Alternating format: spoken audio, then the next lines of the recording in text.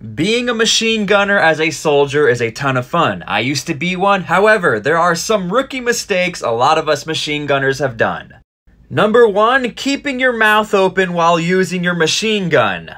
Trying not to yell or smile while using your machine gun is nearly impossible, but you can't do it. There's a lot of lubricant going in your face, there's brass shavings, there's dirt, there's a lot of crud. Keep your mouth shut.